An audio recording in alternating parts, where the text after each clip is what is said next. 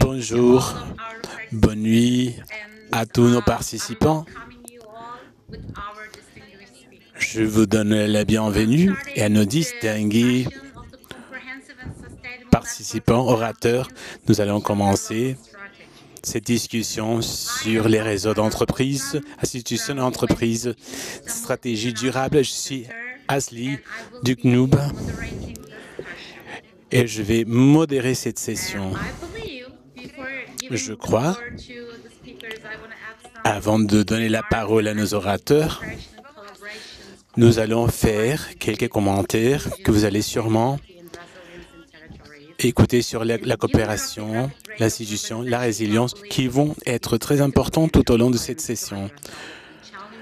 Je crois que beaucoup de ces questions sont essentielles. Il y a beaucoup de défis devant nous. Les finances et le financement de beaucoup de nos, de nos entreprises sont clés. Et pour cela, les ressources de chaque gouvernement sont fondamentaux. Nous allons parler dans ce forum des différents mécanismes de financement, des outils pour le développement et la création de vraies alliances. Donc aujourd'hui, nous allons présenter en détail à travers nos orateurs distingués. Je vais leur donner la parole pour qu'ils puissent se présenter. Je vais commencer avec M. Joaquín Alvarez González, qui est le directeur de, l'Institut d'emploi développement socio-économique. Si vous voulez commencer. Merci beaucoup. Tous les participants pour nous avoir invités. Merci à l'organisation. Et bien sûr, nous, nous aurons aimé être à Cordoba, mais pour des raisons personnelles, pour tout ce qui est muni à Cordoba, depuis Alta Corral à Alta Gracia mais je ne sais pas si je m'introduis ou c'est ensuite les autres ou je commence à, à, parler. On continue avec la présentation.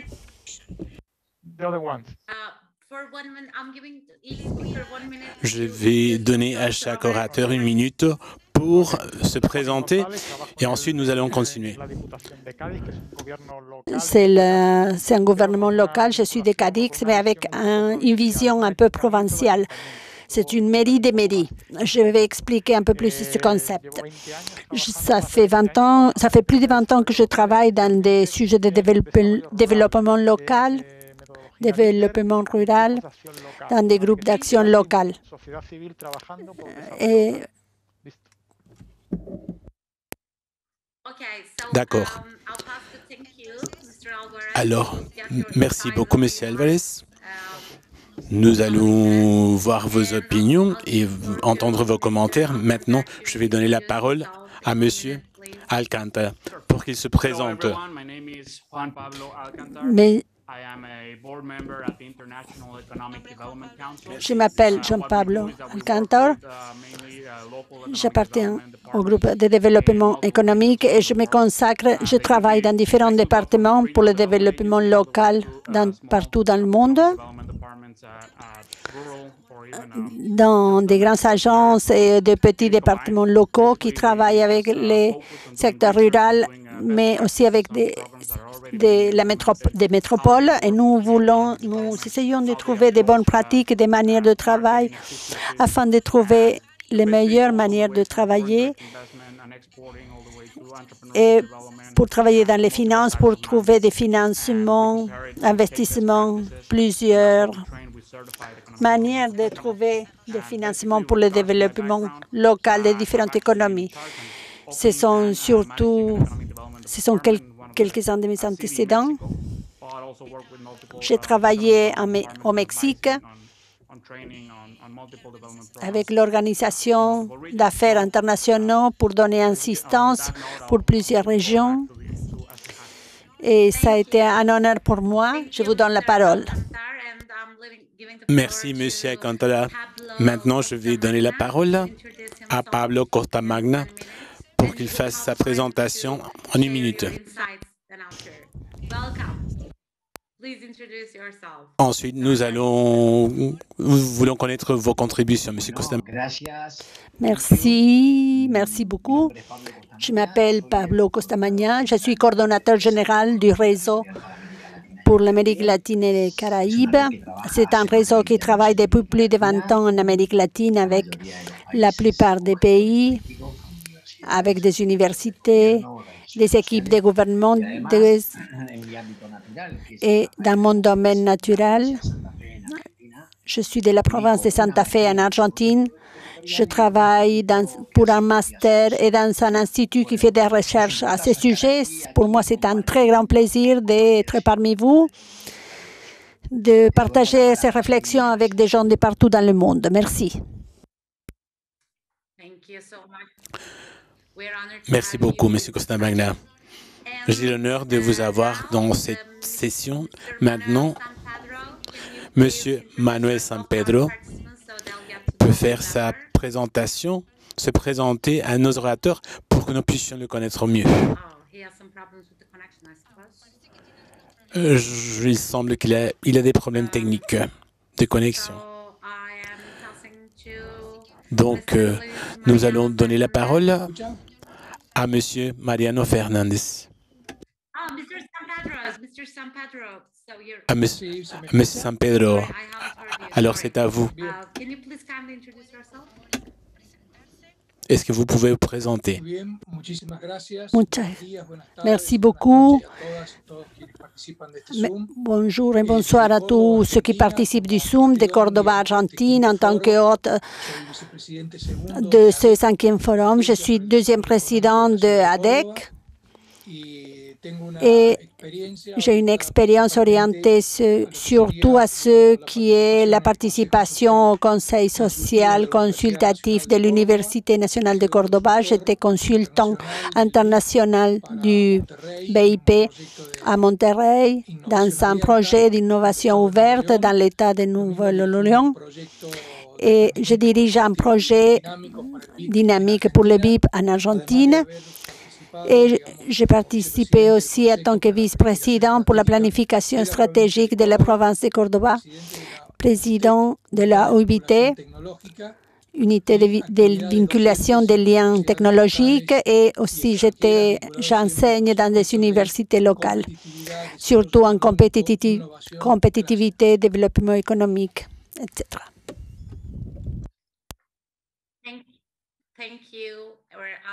Merci beaucoup. C'est un honneur de vous avoir ici. Et finalement, Monsieur Mariano Fernandez, est-ce que vous pouvez vous présenter pour vous connaître mieux, s'il vous plaît? Je salue tous les auditeurs. C'est un plaisir de partager ce panneau. Je m'appelle Mariano Fernandez, je suis secrétaire des relations internationales de la province de Tucumán. Cette province a depuis il y a cinq ans à la présidente de ce qu'on appelle SICOSUR, c'est la zone d'intégration de coopération d'Amérique du Sud. Ça fait 11 ans que je travaille dans le ministère de l'Agriculture argentine, dans un programme de développement d'entrepreneurs, de la création d'entreprises dans les milieux ruraux où je travaillais dans, dans le département formation et contenu et ensuite j'ai coordonné la région NOA de toutes les actions. C'est un peu mon parcours. J'ai aussi travaillé en innovation, co-création. Nous avons organisé des festivals à Buenos Aires, à Cali. C'est mon parcours. Merci.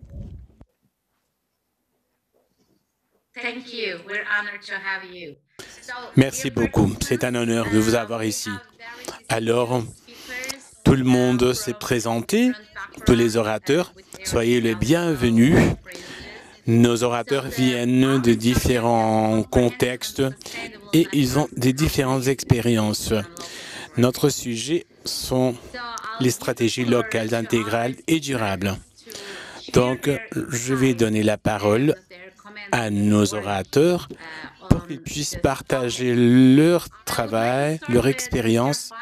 Je voudrais commencer avec M. Joaquín María González Álvarez. Pour qu'ils puissent faire des commentaires. Ces expériences, vous avez 10 minutes, Monsieur Alvarez, il est à vous. Comme je vous disais tout à l'heure, je travaille pour une députation provinciale. Ça, c'est un, gouvernement local. C'est une mairie du mairie, de petites mairies qui existent dans notre ordonnement juridique en Espagne.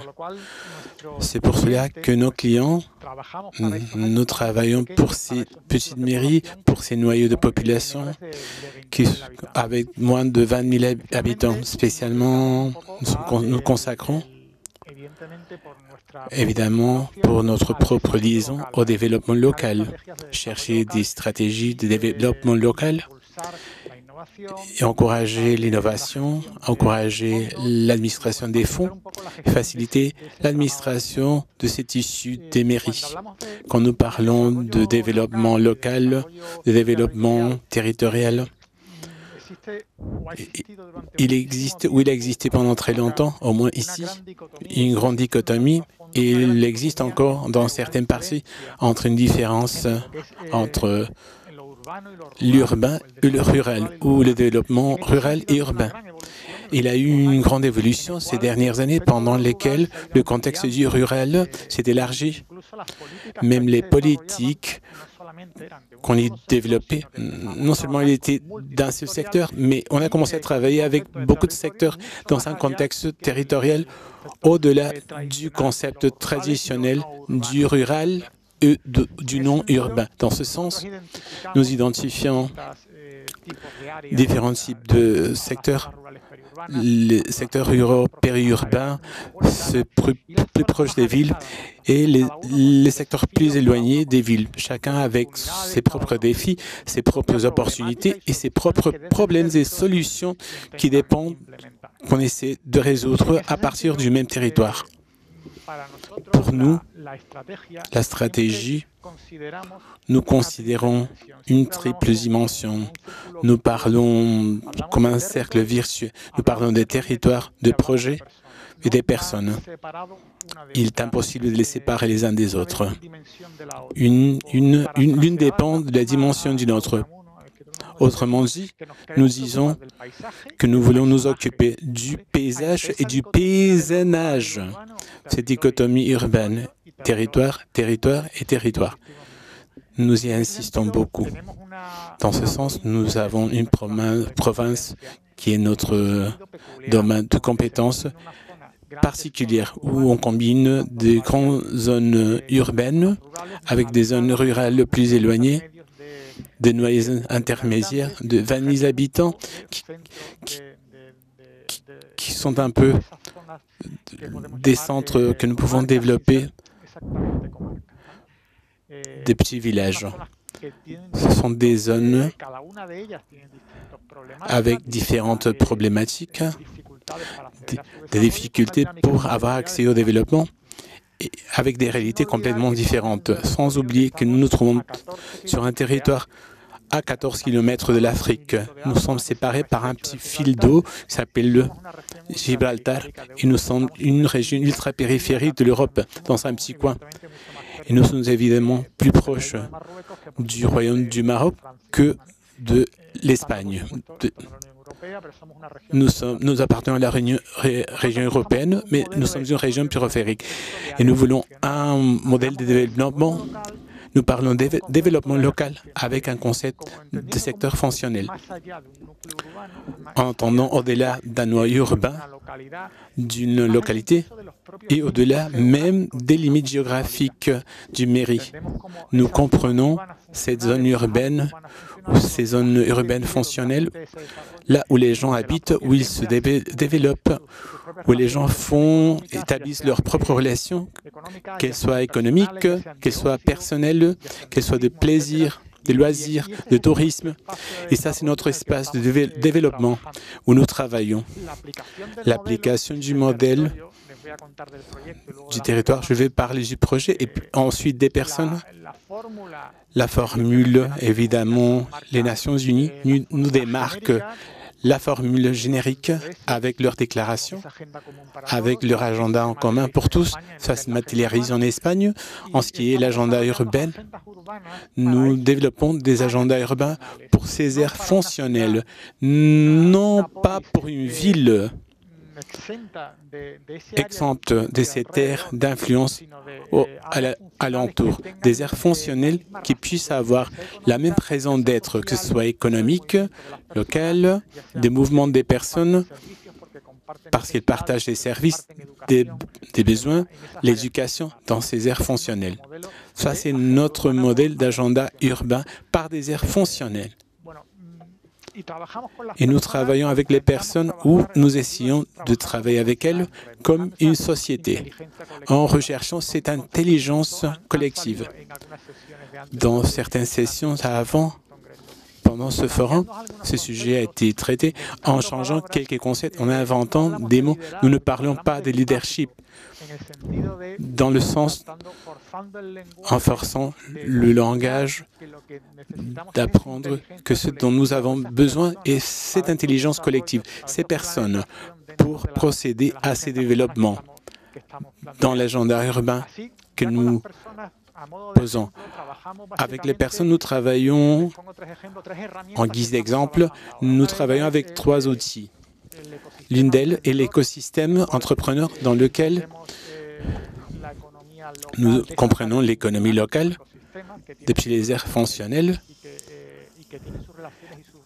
avec ses relations et interdépendances avec le territoire et avec la partie sociale. Il crée des emplois avec la partie de l'environnement. Il y a des ressources, on crée des richesses. Donc nous croyons, nous comprenons tout ça comme un écosystème. Nous travaillons dans un réseau appelé CADIX, dans, dans lequel nous essayons de développer un écosystème aussi fort, aussi robuste, pour qu'il soit résilient, qu'il soit capable de travailler dans ces trois dimensions sociales, économiques et environnementales, et qui brise cette dichotomie qui existe plusieurs fois, où on voit où le développement économique est attaché à préjudice économique de l'environnement ce qui arrive très souvent. Donc nous travaillons avec les aires fonctionnelles que nous avons mentionnées auparavant dans ces écosystèmes. Une autre initiative est, aussi le, laboratoire d'entrepreneurs sociaux pour ces défis sociaux qui accablent nos territoires, les aspects sociaux, les aspects du chômage, pour le travail avec le troisième secteur, en particulier avec une innovation ouverte avec l'université. On a eu une expérience, on a travaillé avec l'université de Cadiz dans ce cas, avec des entrepreneurs sociaux et avec des entreprises avec une responsabilité sociale coopérative installées dans le territoire pour transformer, pour obtenir un territoire résilient. Pour finir, je finis avec 5-6 réflexions. Pour tous ces concepts, tout d'abord, il faut promouvoir une volonté de la part des représentants des institutions et la citoyenneté avec ces concepts de développement territorial. Il faut appliquer beaucoup de pédagogie, d'implication et d'engagement de ces personnes politiques et citoyens, citoyennes comme des entreprises de nos territoires. Dans cet itinéraire, il faut agir dans des scénarios proches des personnes.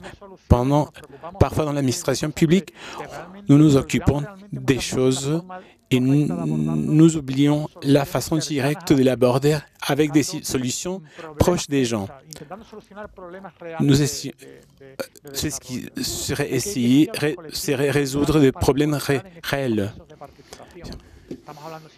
Nous parlons toujours des méthodologies d'en bas vers le haut.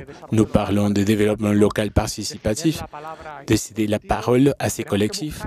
Nous devons chercher ces personnes, ces leaders, des leaders dans chaque secteur pour ce contexte chercher la valeur ajoutée de l'innovation durable, ce que fournit cette, la rentabilité sociale et environnementale économique qu'il a pour les territoires, définir de nouveaux concepts pour ces procédures d'agir, être innovateur. Comment est-ce que nous construisons cette structure?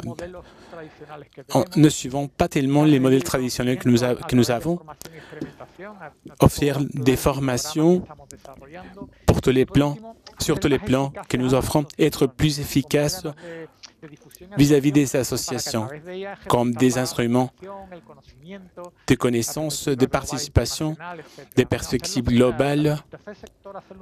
Ce troisième secteur, le transformer en le haut-parleur de développement local que nous menons avec les entreprises, avec les collectifs. Merci beaucoup.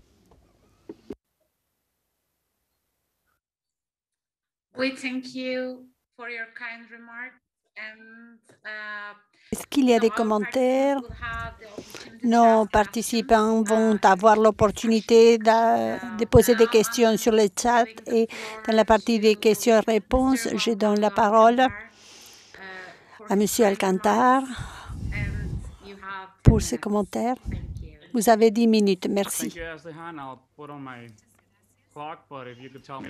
Merci beaucoup. J'espère que vous, pourriez, vous pouvez me vous pouvez vous m'entendez bien?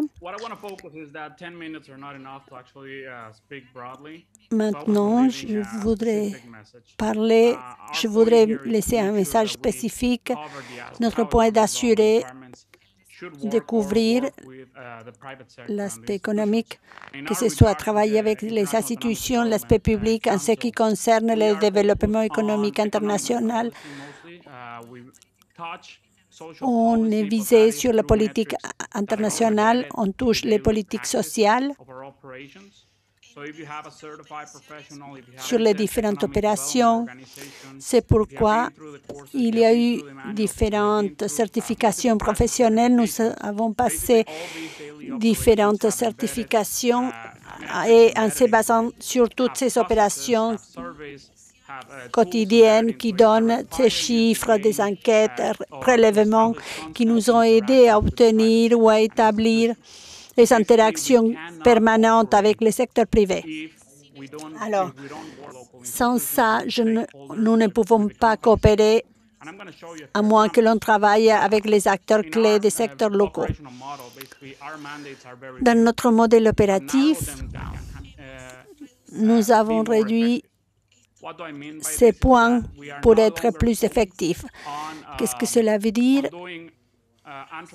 nous ne visons pas des projets pour des entrepreneurs, mais on vise la capacité locale et territoriale pour pouvoir trouver où sont les brèches et les asymétries et renforcer ces acteurs pour pouvoir. On travaille par exemple avec les différents gestionnaires, les centres d'innovation, les universités, pour nous assurer qu'ils soient dans leur meilleur standard international, de manière à pouvoir travailler avec ou sans la présence de l'autorité locale. Et ainsi ne dépendent pas de chaque maire, de chaque officiel de la mairie, mais ils interagissent sur un plan à long terme en donnant un plus grand pouvoir à la communauté. Depuis différents centres d'entrepreneuriat, par exemple. Supposons que on travaille sur un secteur important comme celui des entrepreneurs. Je vais vous montrer, je ne sais pas si vous voyez mon écran. Là, c'est un des exemples des British Airways en Inde. En 2002, l'Inde avait déjà des services exécutifs, des centres de messages, différents travaux. Une grande spécialisation des différents travaux qui étaient disponibles. et travailler avec les entrepreneurs, les différents agents d'investissement. Et nous avons pu retenir ces entreprises, les aider à s'élargir parce que cela veut dire qu'il y a de nouveaux postes pour les différentes parties métropoles, les différentes communautés. Alors, c'est dans cet aspect où on veut viser à retenir des sociétés et des affaires aussi. Euh, ce qu'il faut faire aussi, c'est d'analyser l'impact des métriques dans tous les types d'affaires. L'impact de l'investissement, l'impact de l'investissement entrepreneurial, voir comment celles-ci vont impacter sur le social, sur l'environnement, sur l'écologie. Un des faits les plus importants est qu'il y a quelques années, il y a, on avait perdu une certaine capacité de respecter les obligations fiduciaires. Et on est arrivé à une situation qui n'a pas été bonne pour l'environnement ni pour l'impact social. On veut donc s'assurer de donner service à ces employés, à tous ceux qui travaillent dans ces entreprises, mais viser aussi que ces entreprises obtiennent de revenus.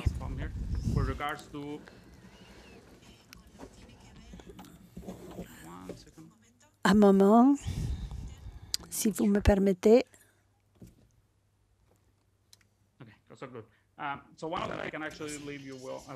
Alors, l'une des choses que je voudrais vous dire, c'est que de travailler avec le secteur privé pour les bureaux locaux, pour le financement, par exemple, uh, quand on incorpore au secteur privé dans les institutions locales, on acquiert une nouvelle capacité qui est très bonne pour la mise en place à long terme de tout plan il y a quelques-uns qui fonctionnent bien, qui marchent bien, qui sont transférés à des départements de gouvernance locale, mais aussi à d'autres, à différentes agences. On fait des associations avec d'autres secteurs publics et on acquiert ainsi un accès à un financement plus important et en même temps, il y a des responsabilités avec la communauté. Je veux dire, par exemple, pour le secteur privé, aux institutions, entreprises privées. Et ils ont donc une voix et peuvent accéder à ces financements. Mais ce financement est utile aussi pour nos intérêts, nos, nos propres intérêts. Alors, beaucoup de ces transitions dépendent du financement du gouvernement de l'intendance locale des plans de ces institutions. Mais ce sont des personnes qui peuvent fournir ces financements. Donc, dans les départements de développement local, avec différentes spécialisations, exportation, investissement étranger, expansion, stratégie de renforcement, un exemple, c'est un exemple, c'est Delta qui a été qui a utilisé sa main d'œuvre, qui avait une moyenne d'âge de 50 ans environ. Ils se sont visés à maintenir cette main d'œuvre et ils ont commencé et ont commencé après à leur former pour d'autres types de travail. Et il y en avait quelques brèches. Par exemple, beaucoup d'entre eux n'avaient pas beaucoup, n'avaient pas beaucoup de spécialistes en mécanique. Et cela est arrivé à Atlanta. Ce qu'ils ont dû faire, c'est former dans ces capacités techniques, former les employés et pour donner des formations utiles pour l'entreprise. Alors, au-delà de confier dans le système local d'éducation, ils se sont rendus compte que beaucoup de ces jeunes, beaucoup de ces personnes ne pouvaient pas accéder ou n'assistaient pas à l'éducation. Ils ont commencé donc à collaborer avec les institutions d'éducation locales pour qu'il y ait un flux permanent de ressources humaines compétentes et pour qu'il, euh, comme ça, il ne devait pas amener des gens d'ailleurs. Par exemple, à l'école secondaire, dès qu'ils commencent l'école tertiaire, il pouvait leur, leur aider à se former. En quelque chose qui se soit beaucoup plus spécialisé. C'est là par de la collaboration avec le secteur privé. Il y a différentes méthodologies avec lesquelles on peut travailler pour obtenir des données. Je pense par exemple à quand on parle de la communauté, un port énergétique par exemple. On peut observer aussi qu'il y a des brèches dans les marchés, qu'il y a des outils qui sont nécessaires dans le marché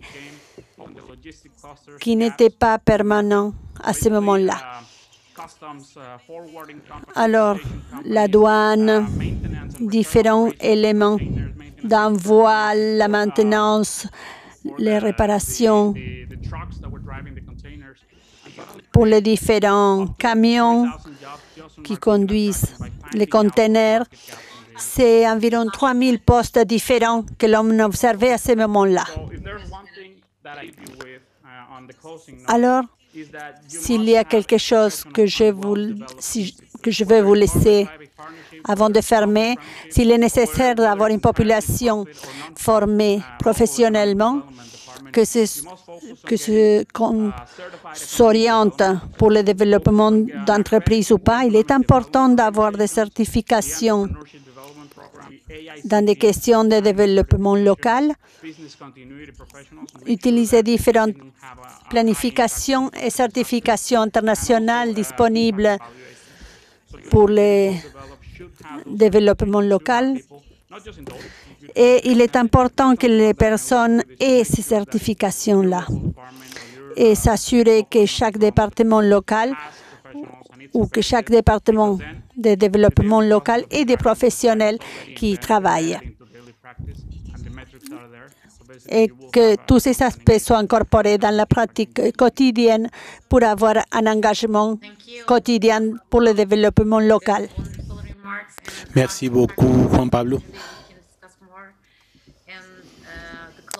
Ta présentation a été très intéressante et j'espère pouvoir t'entendre de nouveau plus tard avant la fermeture de la session.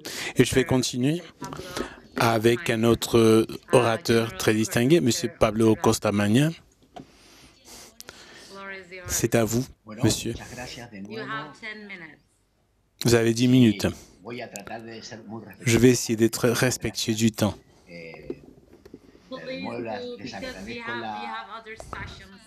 Monsieur, faites-le parce que nous avons d'autres sessions, la deuxième session.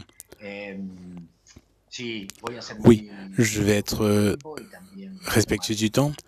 Je vais prendre 20 secondes pour remercier l'ADEC et toutes ces personnes qui travaillent derrière pour que ceci soit possible. Des gens d'anglais et de français qui ont travaillé énormément pour que nous puissions être ici. L'organisation, et ça c'est très important parce que c'est un effort très grand. Après ça, le panel nous a invités à réfléchir au secteur privé et aux nouvelles à de nouvelles stratégies pour la promotion d'actions innovatrices.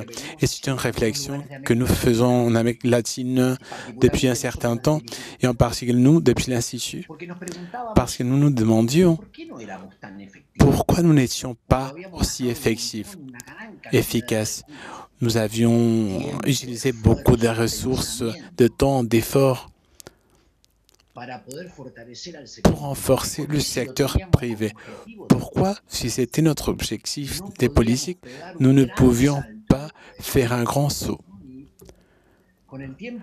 Au fil du temps, avec la pratique, nous réfléchissons d'une façon presque anthropologique. N'ayez pas peur, c'est une réflexion qui aura une composante pratique. Mais je vais me laisser ces huit minutes restantes. Où est-ce qu'on a fait des fautes dans la chaîne du secteur privé? Pourquoi nous n'avons pas pouvoir l'impact que nous voulons avoir dans le secteur privé? Et je vais laisser ici quelques points pour une réflexion que nous faisons, qui n'est pas la vérité révélée, ce sont des choses où, que nous avons regardées et auxquelles nous avons pensé, parce que le point de départ est des choses que nous faisons bien, mais c'est incomplet. Et que le titre serait Il faut renouveler, changer, innover dans la liaison avec le secteur privé, surtout tous ceux qui sont dans l'académie et qui faisons des politiques publiques. Avoir essayé de comprendre mieux l'autre, le savoir de l'autre, le sentiment de l'autre. Et je place dans l'espace où se place le collègue andalou des personnes. L'analyse ne sera pas de programme, mais plus micro. Nous faisons des politiques où nous, nous avons des liaisons avec le secteur privé en croyant que le secteur privé n'a qu'une analyse rationnelle de coût-bénéfice et qu'en plus, il comprend ce dont nous parlons et qu'en plus, il réfléchit avec le même système d'idées. Et en plus, il interprète la réalité de la même manière que nous. C'est là que nous croyons qu'il y a une grande erreur. Le secteur privé a son propre profil, son propre système d'idées. Il n'est pas toujours pense en termes de coût-bénéfice, il y a d'autres valeurs. Il y a d'autres éléments au moment de prendre des décisions qui sont importants dans le territoire pour pouvoir encourager des politiques. Et dans cette logique, je vais, je vais mentionner quelques-uns. La première, pour ceux qui sont dans les territoires, nous croyons que la dimension territoriale de la construction des compétitivités, que les territoires aident les entreprises, qui est présent à la tête de nous et notre entrepreneurs. et entrepreneuses. Les entrepreneurs ont un raisonnement micro et macro. Et si nous voulons faire qu'on va les aider à innover, si nous voulons leur dire qu'il doit former les ressources humaines, qu'il y a une partie qui se joue au niveau de la compétitivité, il faut le démontrer. Un mélange entre entrepreneurs innovateurs ils avaient beaucoup de relations avec le territoire et de formation. Quand on leur a demandé aux entrepreneurs innovateurs avec qui ils avaient fait l'innovation ou une partie de celles-ci, ils ont dit qu'avec personne, tout seul. Qu'est-ce qu'ils nous disaient par là? Mon effort est propre et mien. Pour ceux qui faisons des politiques territoriales, il nous faut combiner pour expliquer pour les comprendre où est le point où les entrepreneurs et entrepreneuses devraient mettre leur énergie pour aller à l'agence, pour faire partie du programme, quand en réalité derrière tout ceci, pas dans tous les cas, mais chez beaucoup d'entrepreneurs et entrepreneuses, il y a une vision idéologique qui ne croit pas à l'État. On commence à combiner. Nous travaillons avec des gens qui ne dimensionnent pas le territoire, ne le voient pas comme une source d'aide, mais en plus, beaucoup d'entre eux ne croient pas en l'État. J'ai dû travailler avec un entrepreneur qui était président d'un programme de compétitivité qui me disait tout le temps, vous devez faire ce que je veux parce que c'est moi qui paye les impôts. Et de l'autre côté, il consacrait beaucoup de temps à construire du capital social. Nous ne pouvons pas euh, aller aux entrepreneurs que nous avons la logique. Il faut chercher une logique de dialogue avec quelqu'un qui n'a pas une dimension territoriale, qui a en plus un système idéologique différent du nôtre, ou au moins différent à celui de quelques-uns d'entre nous. Il n'a pas une très bonne relation avec l'État. Il pense dans quelques secteurs que l'État est bureaucratique et beaucoup, beaucoup de temps, nous avons conçu des programmes euh, très ingénieux. L'entrepreneur prend toujours des décisions coût-bénéfice par son cadre théorique, par ses idéologies, mais aussi pour des questions émotionnelles, la complexité il est dans certains endroits parce qu'il se sent plus à l'aise, parce qu'il aime être dans certains endroits, parce qu'il aime sortir, parce qu'il aime faire des apports aux autres.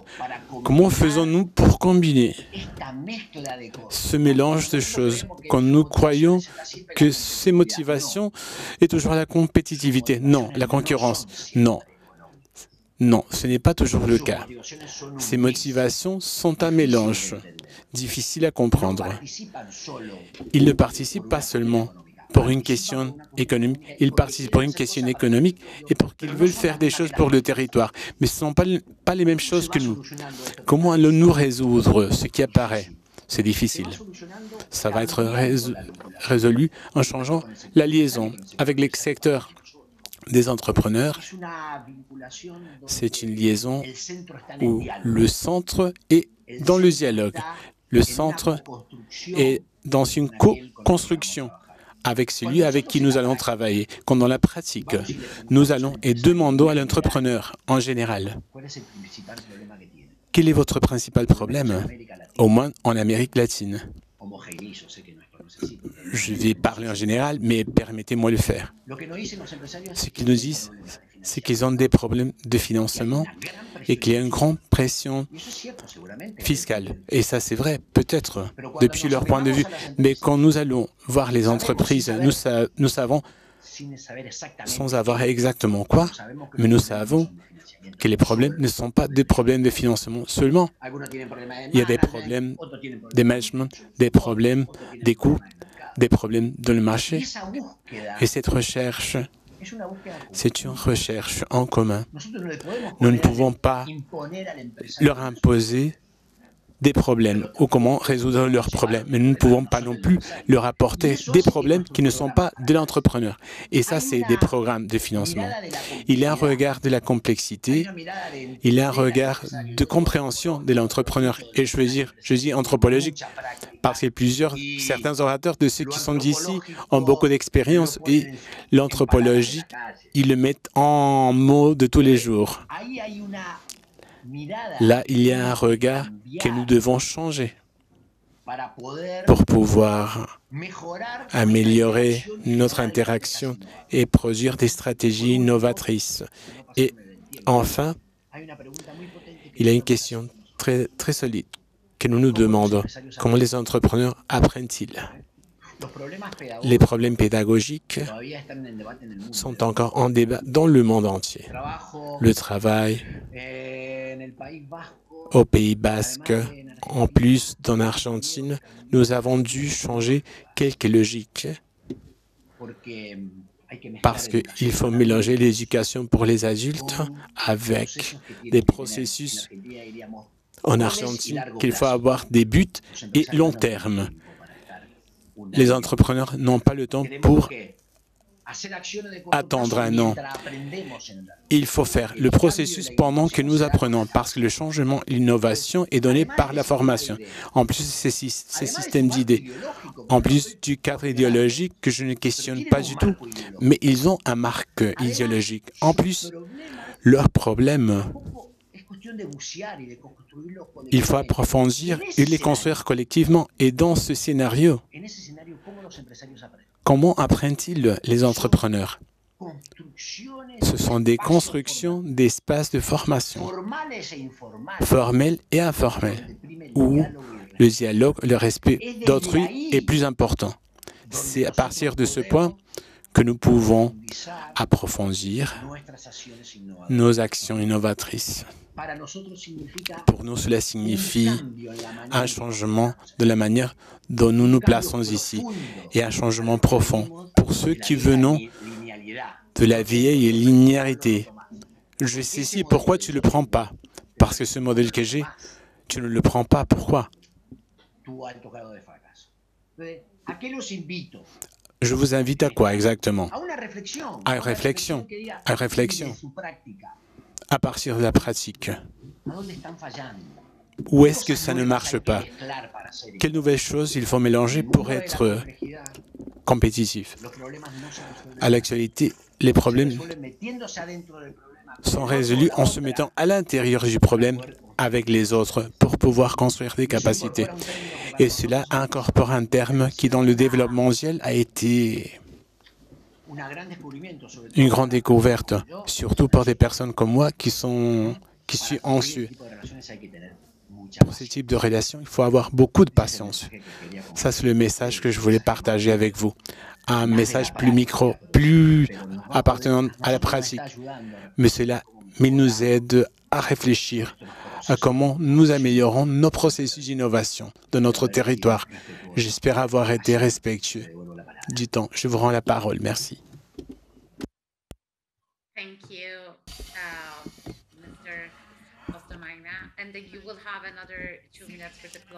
Merci, Monsieur Costamagna. Vous aurez deux autres minutes pour les commentaires finaux à la fin. Je comprends vos préoccupations. Je pense, je pense que cela doit être, doit avoir un débat beaucoup plus approfondi. Maintenant, je donne la parole à Manuel San Pedro pour faire ce commentaire. Vous avez dix minutes.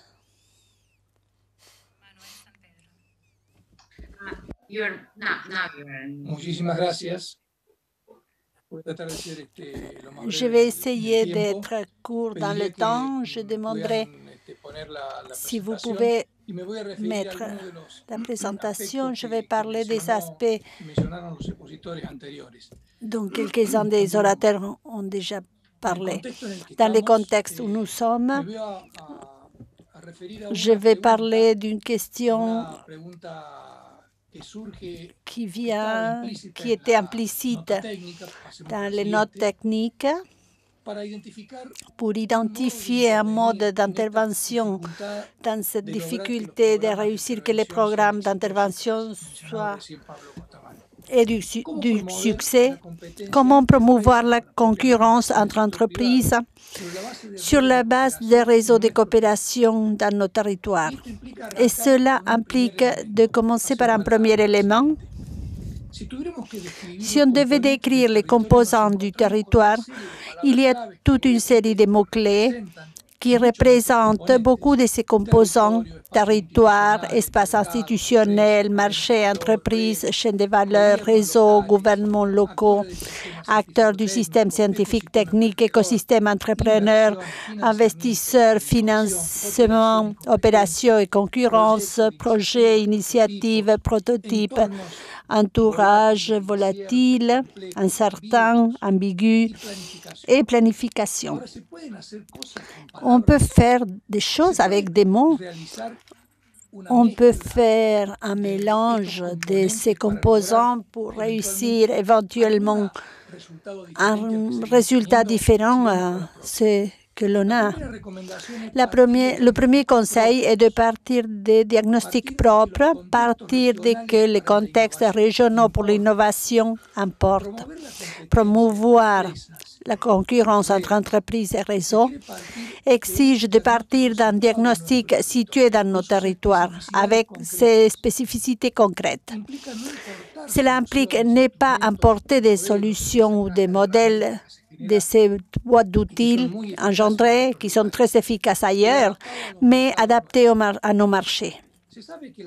On sait que la concurrence doit coexister avec la coopération, mais il existe beaucoup de manières de le faire et non pas toutes ces manières sont applicables, peuvent s'appliquer à nos territoires. L'innovation est reconnue comme inhérente aux capacités compétitives et l'une des options pour cette, pour cette compétence, c'est l'innovation ouverte, mais située sur nos territoires, car le financement de l'innovation a des particularités différentes et que le rapport entre les gouvernements, institutions, sociétés, universités sont différentes aussi. Dans la prochaine diapo, j'énumère beaucoup de particularités qui acquièrent la dynamique de l'innovation. Même s'il y a un grand nombre d'idées, c'est beaucoup plus faible les projets et les prototypes dans les entreprises. C'est plus faible les liens entre entreprises et acteurs du système scientifico-technique. Il y a une moindre disponibilité du financement et du capital de risque de, la part des investisseurs privés. Et il n'est pas très fort le système de protection juridique et de appropriation commerciale. Cela nous conduit à avoir deux systèmes d'innovation et d'entrepreneurs. Dans la partie du haut, il y a le marché traditionnel où il y a le marché des capitaux, qui sont très solides. Une idée, une initiative, j'identifie une opportunité ou une demande à partir d'un plan d'affaires et une première ronde d'investisseurs, des, des capitaux graines vont soutenir jusqu'à arriver à l'échelle commerciale dans les marchés. Mais cela ne peut pas être replié dans nos territoires parce que sur nos territoires, il faut conduire une phase intermédiaire parce que beaucoup de ces entrepreneurs sont nés d'une incubation de corporative et non pas dans les marchés des capitaux. Donc, cette idée initiale ou ces opportunités et demandes exigent d'une entreprise, d'un domaine des entreprises qui va capter non pas un premier modèle, mais un premier contact, un premier client. Et on n'a pas de capitaux anges, que l'on appelle anges, mais des clients anges qui permettent le premier levage de, euh, du marché? Et après, cela peut être replié non pas simplement dans les marchés corporatifs de ces premiers clients, mais aussi dans les marchés en général. Donc, il y a ici une clé pour comprendre que les espaces des institutions dans nos territoires vont d'un point, on voit dans la partie du haut, toute une série de régulations qui vont combiner différents modes de hiérarchie et d'échange. En haut, vous avez les marchés où il y a une prédominance d'échange et entre les marchés et les sociétés, il y a toute une série de, par exemple, chaînes de valeur, réseaux, communautés qui ont un mix différent de hiérarchies d'échange. Et ce mélange doit être situé dans les territoires. Ces dialogues dont parlait M. Costamagna, c'était précisément d'établir une conversation sociale institutionnelle qui rende compte d'un pas d'une société qui ne, fait pas la concurrence dans les marchés, mais dans les chaînes de valeur et, et les communautés. De là, on peut voir que cette société est imbibée et travaille de manière amphibie dans différents domaines. Elle doit avoir des capacités entrepreneuriales pour construire des chaînes de valeur avec une, valeur ajoutée plus importante. Elle doit être capable de structurer des réseaux de production des réseaux d'innovation, elle doit voir un troisième anneau pour construire et conformer des communautés. Cela va lui permettre d'avoir un plus grand renforcement et une plus grande compétition dans les marchés. On peut éviter que les grandes entreprises soient de, manière endogène dans les marchés et les petites et micro-entreprises soient désarticulées de la trame de nos territoires.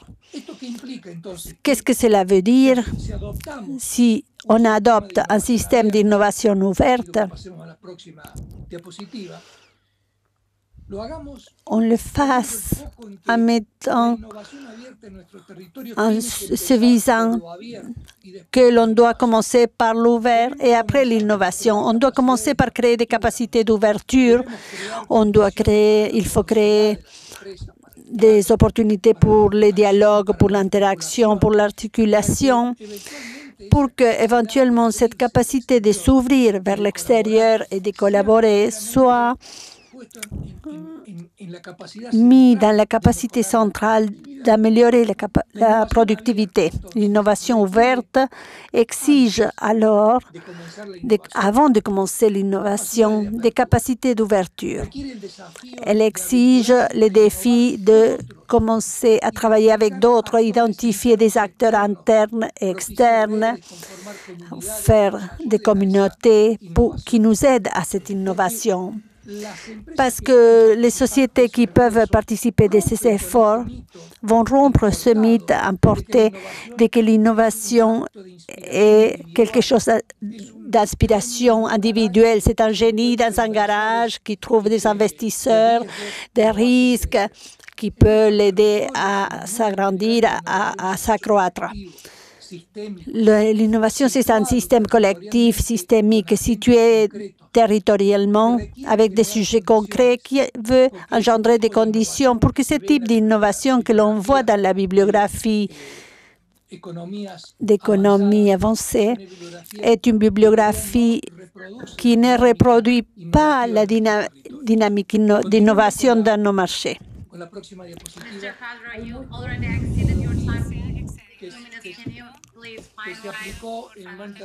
Est-ce que vous pourriez finir La concurrence entre entreprises qui a construit ses propres réseaux de coopération et de collaboration. À travers la feuille de route des projets d'innovation, créer des innovations où l'innovation a du sens. Les territoires doivent trouver dans l'économie circulaire des opportunités pour voir ces réseaux de coopération qui engendrent de la valeur ajoutée avec les chaînes de valeur circulaires. Et pour finir, je veux conclure avec cette réponse à la question, à la première question. Les entreprises peuvent financer des projets d'innovation à partir des réseaux et des communautés d'innovation de collaboration situés dans les territoires seulement si les systèmes d'innovation ouverte s'adaptent s'adapte aux caractéristiques locales. Julien, est-ce que vous pouvez passer? Merci beaucoup et je m'excuse du manque avec le manque de synchronisation avec les diapos. Nous avons le plaisir, avons eu le plaisir d'entendre toute votre, votre présentation. Nous vous nous excusons de vous avoir interrompu, mais nous avons un temps attribué exact. Donc, on vous remercie. Finalement, nous allons entendre Monsieur Mariano Fernandez. Et ensuite, nous allons passer à une session de questions-réponses. Merci beaucoup.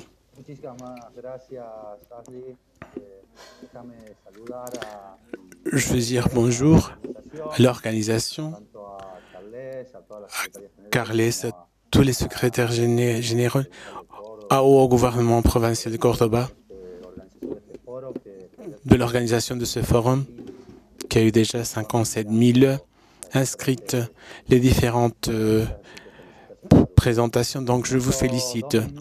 Pendant ces deux minutes, si je peux vous raconter un peu l'histoire de la zicosure et comment elle s'associe au secteur privé, l'importance du secteur privé et comment, à travers les actions de la zicosure, on, on sort d'un regard de ville et on commence à avoir un, regard plus régional, je serais très content. Donc, je, je, voudrais pouvoir euh, faire ça. Comme je vous disais, la Zicosur, c'est une zone d'intégration du sud-est américain. Elle est composée de 71 États sous-nationaux. Et nous parlons d'États sous-nationaux parce que les différents pays ont, différents nombres. Au Chili, ce sont des régions. Au Brésil, ce sont des États. En Argentine, ce sont des provinces. 71 sous-États entre le Brésil, Brésil, l'Argentine, le Chili, l'Uruguay et le Pérou.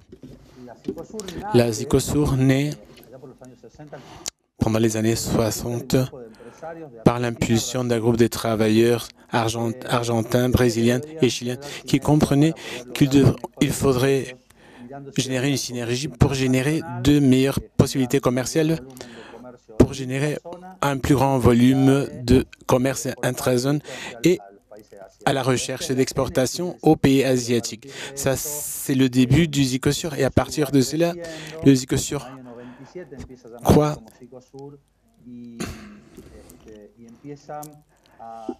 et là, ils commencent à se rendre compte, ces entrepreneurs, qu'ils avaient besoin de la participation du secteur public pour pouvoir améliorer les obtentions, tout ce qu'ils obtenaient.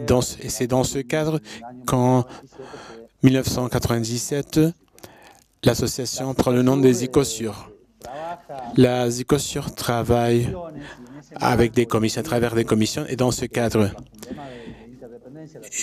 sous un objectif d'indépendance, il commence à croître, ses objectifs commencent à changer, et, parallèlement à sa croissance, depuis la province de Tucumán, nous avons eu la présidence depuis l'année 2016, décembre 2016. Nous avons 45 membres, 71 de ces pays en incorporant toutes les, les zones de l'Uruguay. Dans ce cadre de croissance, la Zicosur commence à devenir plus complexe et devient une plateforme multidimensionnelle complexe qui ne regarde seulement la partie commerciale ou du commerce extérieur, mais aussi commence à se transformer en une plateforme qui commence à regarder les, les secteurs du genre, de l'infrastructure, la santé, le sport, la culture, des choses que nous, qui sont très importantes pour nous, parce qu'aujourd'hui, nous, nous travaillons non seulement avec le commerce international, mais aussi sur deux axes importants liés à la culture et au sport, qui sont des éléments d'intégration naturelle. Et dans ce cadre, depuis la Zicosur, nous avons un concours de théâtre, un concours d'échecs, une foire au livre, une série d'événements très importants qui font que ces éléments soient combinés et puissent générer cette intégration que nous cherchons. À partir des actions, nous commençons à regarder, à partir du mois de mars-avril de l'année dernière, après l'arrivée de la pandémie, je suis le responsable du secrétariat international, tous les rapatriés de l'Argentine, tous les documents qui, qui étaient à l'extérieur, environ 500 personnes. Nous les avons ramenés de différents endroits du monde. Nous avons commencé ce que nous pouvions faire pour atténuer l'impact de la pandémie. Nous avons commencé à travailler dans des commissions d'éducation, des sciences et technologies, de commerce et industrie, de tourisme, pour pouvoir commencer à faire des échanges, des bonnes pratiques des actions qui avaient été faites aux différentes parties du Zicosur, qui nous permettent de regarder et prendre ces expériences et les adapter à notre territoire et les appliquer. Dans ce sens, nous avons commencé avec l'éducation, avec le secteur de l'éducation, avec trois concepts. Le premier, lié, on avait passé de la présence à la virtualité et comment étaient les protocoles et comment travailler, quelles actions avaient été menées. Les différents 71 États sous-nationaux, les autorités maximale dans le domaine de l'éducation dans ce cadre. Après cette consigne, c'était une inquiétude du ministre de l'Éducation du Tucumán liée à comment allait-on évaluer l'apprentissage de ces étudiants dans le cadre de cette pandémie à travers l'éducation virtuelle, quelque chose d'inconnu. Et le troisième était comment se préparer les protocoles pour le retour à l'éducation en présence, parce qu'aujourd'hui, nous continuons avec un système mixte ou hybride, présence, virtualité. Ici, beaucoup d'expériences, des problématiques liées aux plateformes les plus utilisées pour pouvoir faire du cours, des cours virtuels avec une série d'actions qui résultaient en une réunion avec l'ONU, avec tous les membres, les membres de la Zicosur, pour commencer à étudier des technologies, des processus et pouvoir nous assurer que l'apprentissage soit réalisé. Dans le secteur du tourisme, ce qui s'est passé lors de cette réunion, environ 45 responsables du secteur du tourisme y ont participé. Les secteurs publics et privés ont généré de nouveaux paquets de produits touristiques qui ont été présentés et tout le monde a coïncidé sur quelque chose lié au tourisme de proximité. Quand on ouvre un peu après cette première vague, il est arrivé chez nous un peu plus tard, nous allions pouvoir voyager, mais faire un tourisme un peu plus proche. Le Tucumán a beaucoup d'endroits très proches et tout le monde coïncidait que ce seraient les modes. On a établi des protocoles de biodiversité et il a fallu prendre en compte tous les aspects liés au tourisme, la gastronomie, les agences de tourisme. Ceci a généré, a fait que les provinces du nord-ouest argentin se réunissent et génèrent un espace de circulation en utilisant les mêmes paquets, les mêmes protocoles et ils ont généré un circuit touristique dans le nord-ouest argentin. On a fait également la même chose dans le secteur des de commerce et d'industrie où nous avons travaillé sur les actions, utilisé les protocoles pour les différents départements de la, secteurs de la production. Dans le cas de la province de Tucumán, c'était très important parce que nous travaillons avec la canne de sucre, des secteurs particuliers, avec beaucoup de main-d'œuvre, et ça, il faut l'organiser. Et si on se séparait, cela n'allait pas pouvoir être atteint. Il était très important pour nous connaître tous les aspects associés. On a beaucoup travaillé sur les bonnes pratiques et les outils les programmes, les logiciels dans les 71 États pour résoudre la réactivation économique, pour atténuer l'impact de la pandémie dans le cadre des entreprises, surtout orientées aux petites et moyennes entreprises. Le Psychosur cherche toujours une croissance institutionnelle. Nous avons obtenu de manière unanime, ce qui nous permettra d'avoir une structure organisationnelle qui nous permettra de faire un objet de coopération internationale, avoir une personne juridique. Nous avons créé trois forums, un forum de maires que nous trouvons très important. Nous savons que leur rôle est très important dans le processus d'accomplissement. Accomplissement.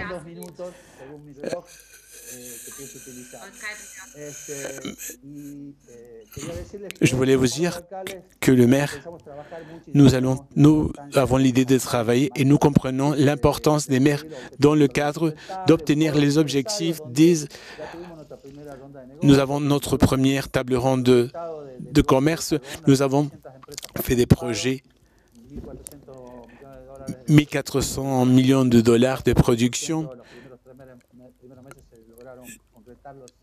les huit premiers mois, nous, euh, ce commerce a été établi et un forum d'université où nous savons que se trouve la matière grise en termes d'identification, évaluation des projets, etc., dont nous avons besoin pour approfondir notre intégration. Dans ce cadre-ci, nous avons créé un fonds de coopération parce qu'à partir de la pandémie, nous sommes rendus compte de la profondeur des inégalités dans la périphérie, mais aussi au sein de la périphérie, il y avait, encore plus d'inégalités. Et dans ce sens, nous allons pouvoir coopérer et traiter d'équilibrer un peu ces inégalités. Je finis. Je vous dis que nous travaillons dans l'environnement euh, du développement durable avec deux concepts liés au secteur d'administration partagée. et à partir d'un travail avec euh, une fondation de cette commission, nous avons travaillé dans les biomes, dans les écosystèmes du Sur qui traversent les frontières et affectent différents États sous-nationaux, différents pays. Et parfois, les actions sur ces écosystèmes ne sont pas coordonnées. Et nous essayons, avec ces secteurs de gestion partagée, Merci. Merci beaucoup. Vous aurez, ensuite, vous aurez deux minutes pour faire plus de commentaires avant la fermeture. Après cette grande présentation, je vais donner la parole pour pouvoir faire les questions que nous avions promises pour cette partie de la session. Donc, il y a quelques questions pour les orateurs. Il y en a une pour, en particulier ou pour eux en général. Je comprends que les questions sont en espagnol. Est-ce qu'il y a quelqu'un qui peut m'aider avec euh, la traduction, s'il vous plaît?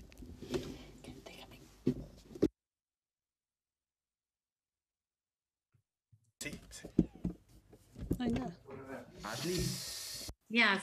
It's not, it's not any question. On ne voit pas de questions sur le chat. Je ne parle pas l'espagnol, je m'excuse, donc je ne savais pas s'il y avait des questions. On va continuer donc. Il reste 15 minutes pour finir. Alors, je vais je vais donner euh, la parole aux orateurs pour donner la, les paroles de fermeture. Je suis très contente de cette collaboration. Depuis le CNUD, on a eu beaucoup d'instances de collaboration avec le secteur privé et beaucoup de ces intéressés ont participé dans ces efforts pour participer du secteur privé dans pour travailler dans le développement local. En travaillant dans l'innovation, dans le dialogue, je pense que c'est, nous pensons qu'on peut, peut participer avec le secteur privé pour engendrer du développement car il ne s'agit que des flux de capitaux. Est-ce qu'il pourrait adopter de nouveaux rôles pour aider les gouvernements? En utilisant les stratégies d'innovation, des nouvelles technologies et c'est très gratifiant de voir tous ces orateurs et je pense qu'ils sont d'accord avec cette idée. Je vais donner la parole à M. Alvarez pour faire un commentaire, un commentaire s'il y, en a un. Nous, avons, nous devons finir avant 13h45, donc bon, on, on va avoir seulement quelques minutes pour fermer cette session. Est-ce que vous pourriez nous donner des commentaires? Pour moi, ça a été un plaisir de parler, de partager avec euh, les restes des orateurs pour ces commentaires et je reste avec des choses que eux ils ont dit, des par leur exposition. J'ai beaucoup aimé que l'innovation ouverte doit être ouverte et ensuite innovation. J'ai adoré ça. Je vais réutiliser cette expression parce que c'est vrai, il faut d'abord s'ouvrir et c'est ce qu'on essaie, travailler sur un écosystème pour que cette innovation de, innovation de collaboration surgisse. Et dans ce sens, on, travaille, nous travaillons autour de l'économie circulaire dans des projets de symbiose industrielle entre entreprises. Et c'est travailler à la recherche d'opportunités, tout avec l'université, de collaboration dans des projets comme Pablo disait, très micro on va, on va avoir des solutions très, dans des espaces très petits. C'est, comment cette communauté, comment cette symbiose avec les entrepreneurs et incorporer ces, entrepreneurs à la décision. Je pense que c'est clé pour notre travail. Dans cet écosystème, il faut s'asseoir à côté de l'autre. C'est, c'est comme un dialogue de, de participation, une expression en football que l'on dit que quand on s'assoit sur le développement local participatif, on s'enlève le maillot et on se remet le maillot du territoire. C'est vrai que l'on joue du gardien de but et l'autre, je ne sais pas, de l'extrême. Mais chacun a ses compétences ses compétences, mais si on met les maillots de l'autre, notre perception change. Et avec tout, on va avoir on va arriver, c'est les clés de cette table, c'est de les intégrer comme un autre dans le travail que l'on fait chaque jour. Sans eux, ce n'est pas un écosystème. Merci.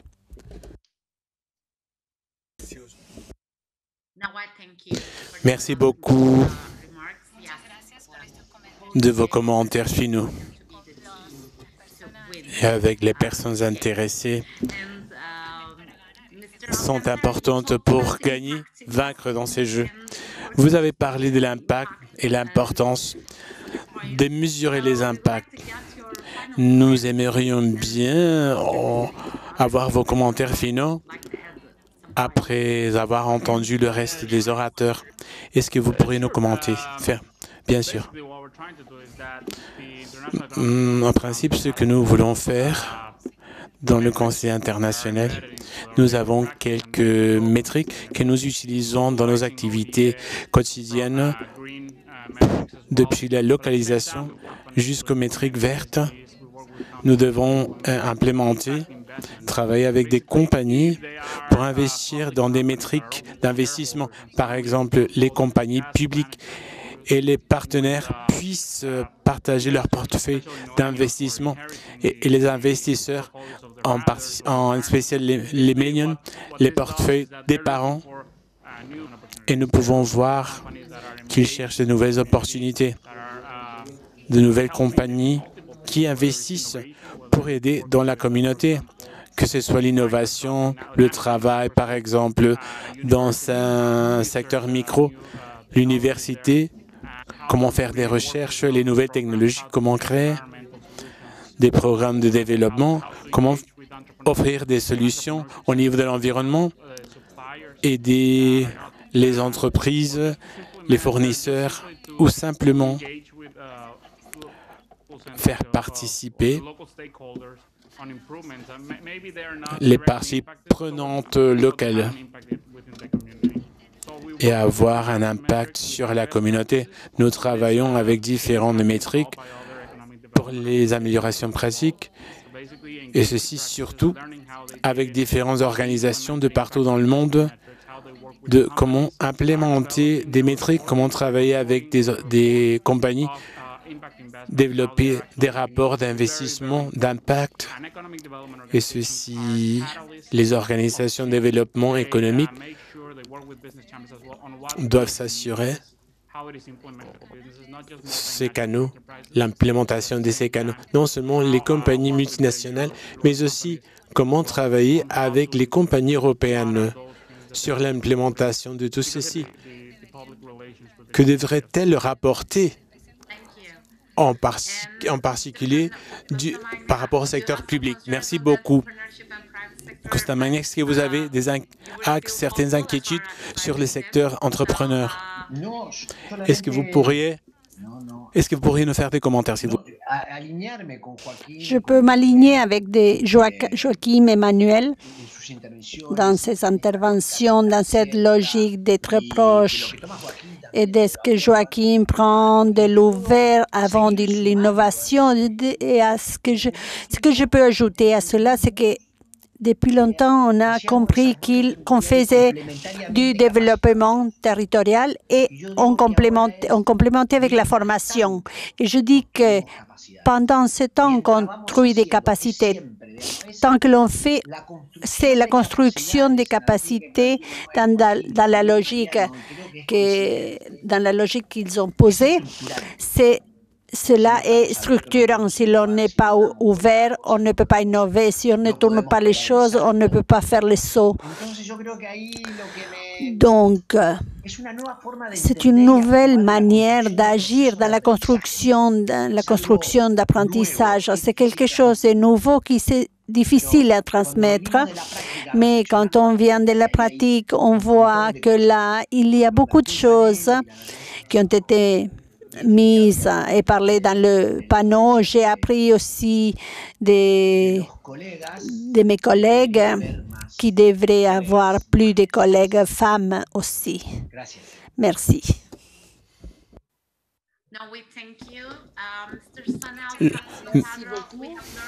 Jean Pablo, nous avons beaucoup appris de votre présentation. Nous avons aussi un temps que nous pouvons aborder pour les commentaires finaux.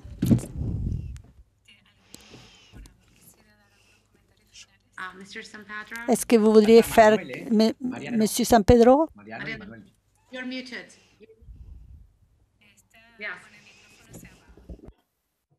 Ce microphone est en sourdine. Euh, je voudrais faire quelques commentaires finaux. En premier lieu, nous devons être très ouverts à l'importation d'idées qui se passent ailleurs dans le monde, parce que nous disons l'innovation ouverte et l'ouverture, nous devons être très ouverts pour l'incorporation des idées et non pas l'application des idées quand elles viennent sous la forme d'outils ou d'instruments ou des dispositifs, parce qu'ils sont produits pour d'autres territoires, pour d'autres logiques, pour d'autres types de liaisons entre les acteurs. Donc, il faut prendre et être très ample dans la réception des idées et très spécifique dans la déconstruction de ces boîtes d'outils et dans la construction de nos propres boîtes d'outils et de nos propres expériences. Il faut créer des capacités en apprenant dans cette idée d'apprendre en faisant. et non pas en étant radin, en évaluant de manière négative l'impact de certains projets. Et si nous commençons une évangélisation très ample, être prêt à de petits miracles et non pas le grand projet, le prototype d'innovation, la version bêta, le produit minimum, la maquette, la preuve pilote qui après peut être répétée et scalable. Et non pas commencer de grands projets avec des méthodologies lentes et non pas des méthodologies agiles qui sont venues dans des idées, dans des idées qui ne sont pas très utiles, des idées importées qui ne sont pas très utiles pour notre, notre, notre nos objectifs. Merci beaucoup. Et enfin, Monsieur Fernandez, vous avez quelque chose, vous avez des commentaires? Un plaisir d'écouter des concepts que j'entends depuis l'année 2005, euh, quand on parlait de la création des entreprises, de l'innovation ouverte des capacités et des savoirs complémentés. C'est un, plaisir et un honneur pour moi. Et pour finir, comme défi, pour, comme un défi, sous la loupe de la psychosure, nous pensons territoire intégré avec des une réactivation économique, sociale et environnementale. Ce sont les défis pour nous, les modèles économiques et territoriaux pour nous pour réduire la brèche, la génération d'emplois avec une perspective territoriale en contexte de post-pandémie et des mesures de soutenabilité comme axe transversal des secteurs thématiques. C'est pour nous les défis depuis ces côtés du monde. Merci beaucoup, Ashley, et un plaisir et merci à tous.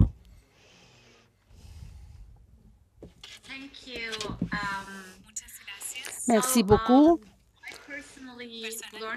Personnellement, j'ai beaucoup appris de l'autre partie du monde. En Argentine, il y a beaucoup de débats qui continuent et qui travaillent sur le développement local et l'impact et le développement d'habilité et capacités et innovation, ces idées semblent